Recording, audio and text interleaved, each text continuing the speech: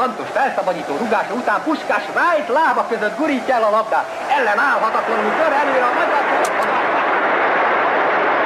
Puskás lövész a tetestől terekült sarokban.